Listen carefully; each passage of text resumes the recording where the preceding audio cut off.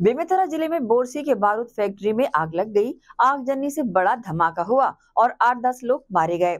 वही करीब 10-12 लोग घायल भी बताए गए हैं।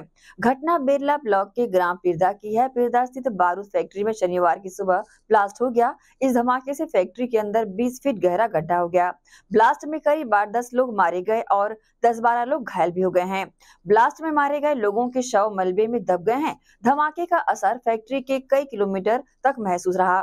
बारूद फैक्ट्री ब्लास्ट की घटना पर डिप्टी सीएम विजय शर्मा ने कहा कि पुलिस अधीक्षक से बात कर घटना की जानकारी ली है। पुलिस और प्रशासन की टीम घटना स्थल पर ही मौजूद है। डिप्टी सीएम शर्मा ने ईश्वर से प्रार्थना की है कि कम से कम जनहानि हो।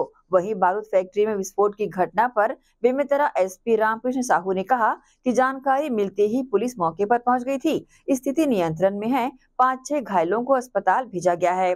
घटना की जाँच की जाएगी। करने वाली कंपनी है, जिसमें विस्फोट हुआ है। बिरला थाना के अंतर्गत पिरदा और गाँव है। तो अभी कुछ स्थिति स्पष्ट नहीं है और जाँच चल रही है। एसपी वहाँ पर मौके पर खड़े हैं और बात भी हुई है उनसे। अभी और स्थिति स्पष्ट होगी धीरे से। अब एक बार थोड़ा विषय और स्पष्ट हो जाए, ईश्वर, दया करें जितना कम से कम हो वही ठीक है।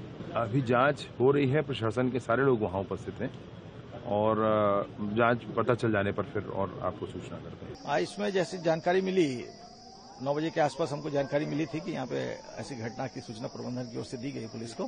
पुलिस तत्काल मौके पे आकर पहुँची है और तब तक ग्रामीणों की भीड़ भी आ गई थी और पुलिस ने जो है भीड़ को समझा बुझा करके जो भेजा भेजने का प्रयास किया और भेजा गया। स्थिति कंट्रोल में है और आगे एक्सपर्ट की टीम एसडीआरएफ वगैरह जो है इनके एक्सपर्ट की टीम को बुलाई गई है।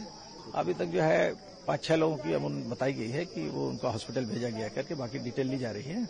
और जो स्पॉट है, है वो चूँकि वहाँ पे विस्फोट हुआ है तो उसके संबंध में जो है अंदर जब टीम जो है आ जाएगी तब स्पष्ट बता पाएगी। लगातार आ गई है एसडीआरएफ की टीम भी आ गई है और लगातार स्पेशलिस्ट अपने स्तर पे काम कर रहे हैं। क्योंकि विस्फोटक की फैक्ट्री ही है निर्माण दौरान किसी तरीके का बाकी जाँच का विषय है कैसे आएगा? इसीलिए तो बोल रहे हैं कि क्योंकि विस्फोटक की फैक्ट्री है, है और निसंदेह खतरनाक की स्थिति है तो इसीलिए लोगों से अपील की जा रही है कि लोग जो है दूर रहें।